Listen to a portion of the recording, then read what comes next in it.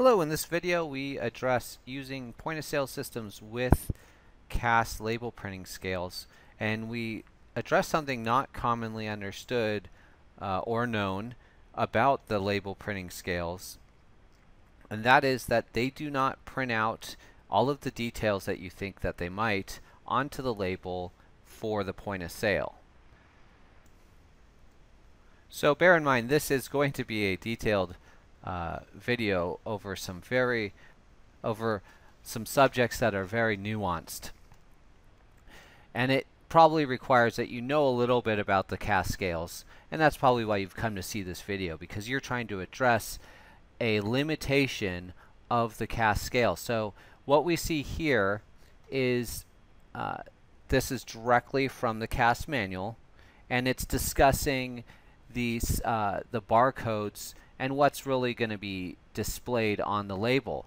And so we can see in these labels we have different uh, views here. It can show the weight of the sweetened condensed milk or it can show as pieces of sweetened condensed milk. And the barcode that's being displayed is the same for both. So when your point of sale system receives this information, you're going to assume that the barcode knows that uh, can, can indicate to the point of sale that it was three pieces or it was 1.51 but that assumption it would be invalid because the barcode on both of these is exactly the same. So how do you get into your point of sale the quantity that you're providing so that your point of sale can correctly update inventory so that's what we're really getting to the meat of this. The uh, the the CAS labels can transmit to you the price and the item that you're selling, but your point of sale would not be able to know the quantity, so it would always indicate the quantity sold was one. So we'll go ahead and now provide an example of that. Uh, and we have a workaround here, and that's why we're discussing this video.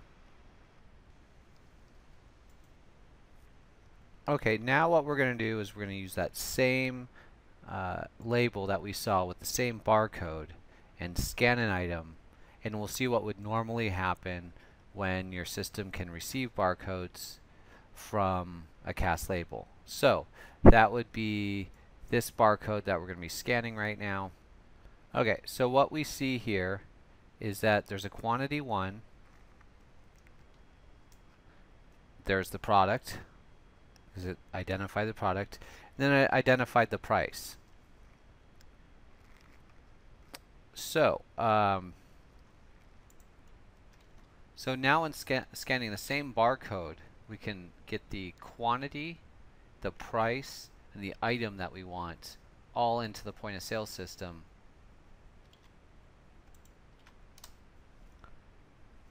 just as we need. So the quantity is 1.51, the price is a dollar, the item, and then the extended price.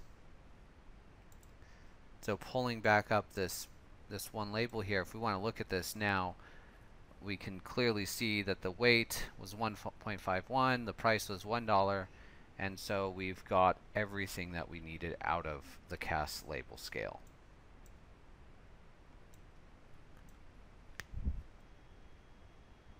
Okay, and as mentioned before, we're going to assume you know uh, a bit about point of sale. And so some of these screens that we're going to be looking at here should be familiar to you. I looked up sweetened condensed milk. We see that the actual barcode of the item is part of what was on the label. So the label uh, has the price included in the barcode that is scanned.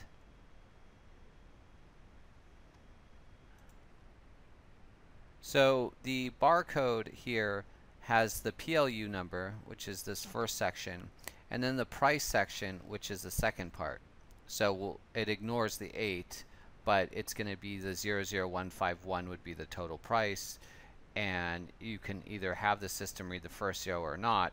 If it is reading the first zero, then you're going to need to have that plugged into the point of sale as part of the, the barcode for the actual item, like you see here.